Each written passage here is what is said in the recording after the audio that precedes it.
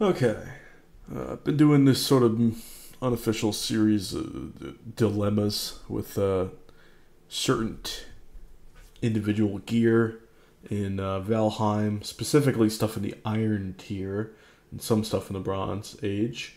But the Iron Age specifically has got a lot of weird stuff because you can go into the mountains early, use a stag breaker, ping the ground 120 meters or above, and if you see the message too hard pop up without any obsidian deposits nearby, because they'll also proc too hard message, then you have buried silver, at which point you can just grab an iron pickaxe, go up there, not grind pretty much any more iron uh, related to whatever item is going to be outclassed by the silver variant of said item, and then you can get that early silver variant, and it will just outclass almost everything.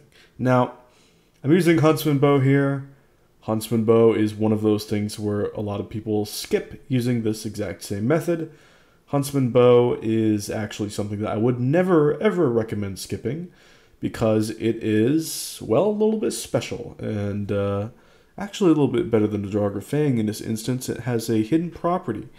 It has a 4 meter aggro radius instead of every other bow's 8 meter aggro radius on its arrows. And this means that you can aggro one target, even if it's really close to a bunch of other targets. So you can isolate a lot of creatures, just take them out extremely easily.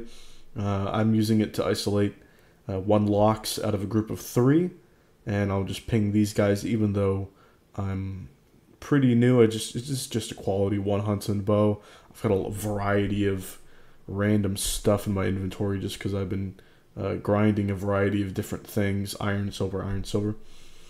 And uh, the Iron Mace, specifically, also in my inventory, is just specifically extremely good for stone golems. So I definitely make and max that.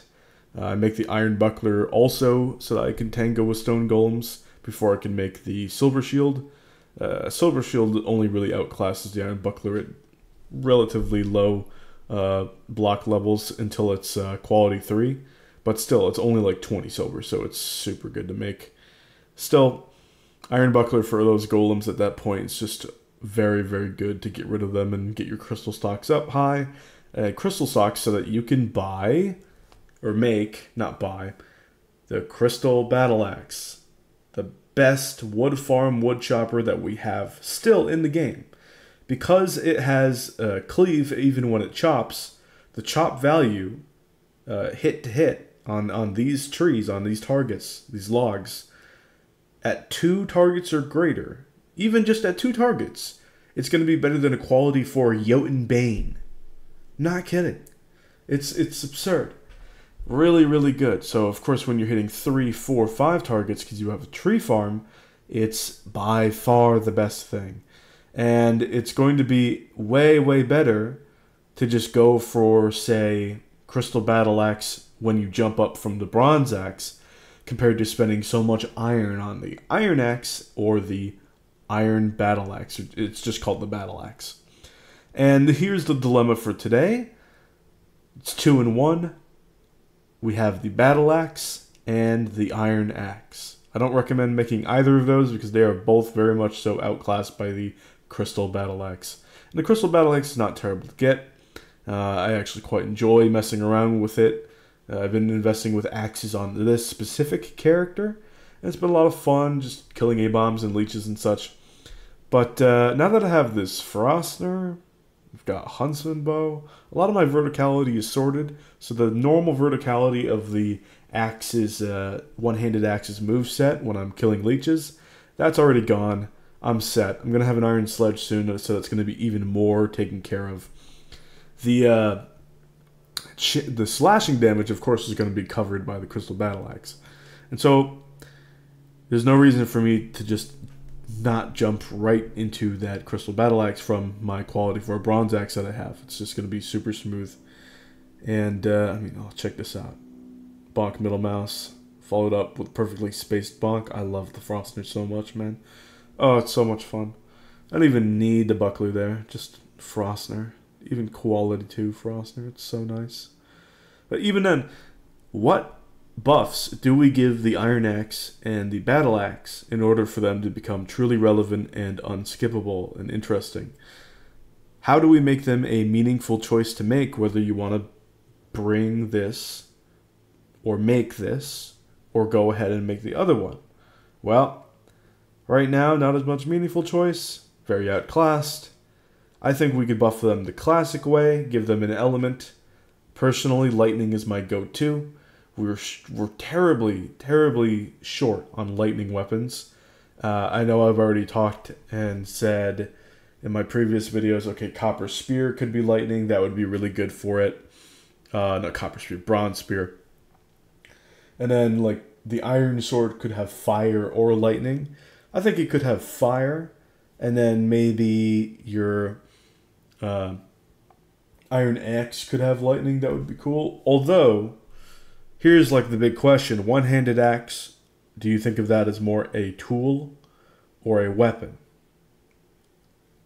It's really both, but most people and the devs seem to look at it one-handed axes like tools because well, it's it's an axe, chops wood. You have it historically for convenience, for a bunch of other factors, and then hey, you can also bring this into the battlefield. It is a logistics choice, not a overall like complete effectiveness choice. Usually for slashing, you'd bring a one-handed sword in, and the Vikings did that historically with like, especially at the higher end like Ulfberts, mm-mm-mm, Crucible Steel. Gotta love that. But uh, yeah, two handed, your Dane axes, those are legit. And so your iron battle axe, your regular battle axe, it's like, well, they're definitely trying to make those into proper weapons. And I can tell that by the mechanics, the middle mouse poke, and all of that. Maybe we make that one lightning, and then we continue onward from there. So I think battle axe, regular battle axe, give that one lightning.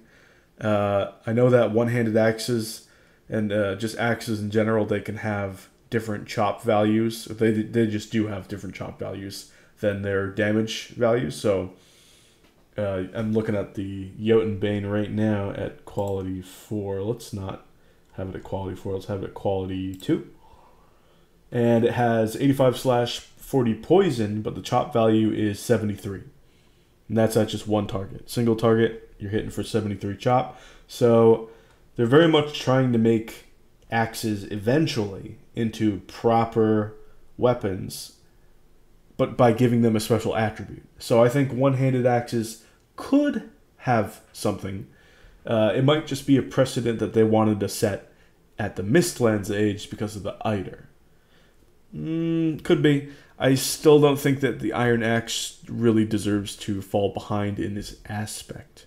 Uh, I think it should have some sort of bonus with chop or and or uh, just normal effectiveness in combat to where you actually want to make it, not outside of just like, oh, I'm going to arbitrarily uh, build a bunch in between these two ages, so I'll just make this and just not go up get the crystal battle axe for some reason. But why would you actually thinking just of the mechanics totally optimally? Why would you make that? And honestly, I think I'm trying to think. It's it's difficult. It's really difficult lightning works. I think lightning just works. That's tough. Yeah.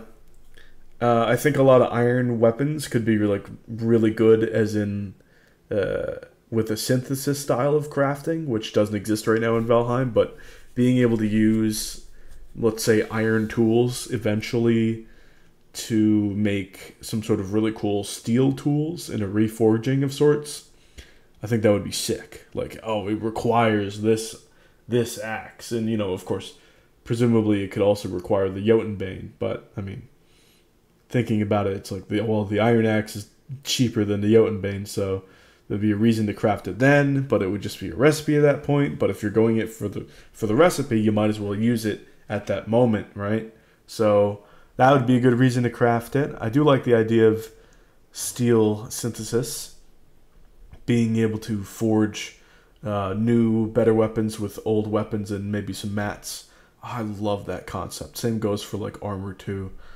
Lovely, lovely concept. Uh, just take that stuff straight from Final Fantasy IX and then add a little bit of flair on it. You know, it's like, oh, instead of just gear plus gear, we can do gear plus gear or gear plus mats, and then we absolutely go bonkers with the different possibilities. Whew. All right. I think that's what I'm settling on for the regular iron axe. Have it be a recipe for a future steel axe. I know that's a little bit of a more pie in the sky idea compared to, say, the lightning battle axe, which seems weird because lightning battle axe is definitely more fantastical of an idea than the more realistic reforging an iron axe with like more carbon and other things involved in a crucible forge to make a steel axe. I think that would be very cool and kind of fit, almost fitting. Like it reminds me uh, of something that could be worked in with the whole concept of flametal that we currently have in the Ashlands. Uh, that's most likely going to be kept as part of the Ashlands, but I don't know. Let me know what you think. I don't want this video to drag on too much. Uh, thank you so much for watching, and I will see you guys some other time. Uh, for these videos that just creep above 10 minutes, I love to turn mid-roll ads off. So if you get one, YouTube's being a little little weird. Uh, definitely, if the, if it's like 15 minutes, if it's sub 20 minutes, I like to turn mid-roll ads off. I don't want to be that fucking guy. Thank you for watching. I'll see you guys some other time. Bye.